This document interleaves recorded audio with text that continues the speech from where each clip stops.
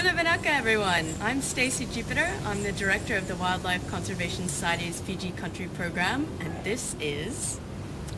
Bula all, I'm Akanisi. I work for the Wildlife Conservation Society also, and uh, I work on this conservation connectivity program as a program facilitator.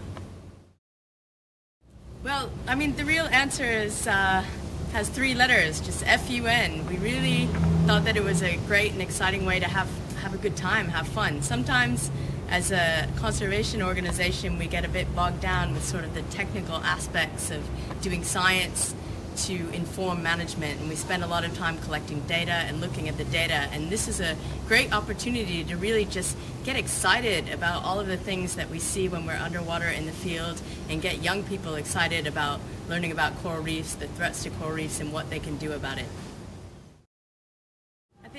Something else that we learned is that while it's really very exciting to be involved in a project that's using digital media in an innovative way, we learned that the young generation, the youth, they've grown up with a lot of stimulation from different types of digital media. And so they're, they're very easily distracted.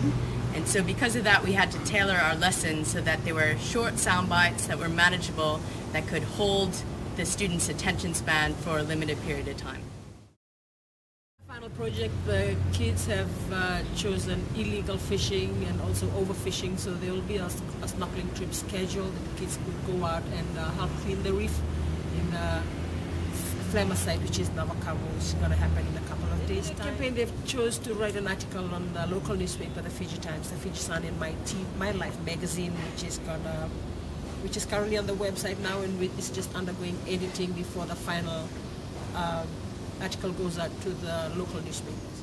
I think for us, some of the greatest things to see is to watch the students get more and more excited and enthusiastic about coral reefs and about what they could do themselves to actually take action to improve coral reef health in Fiji.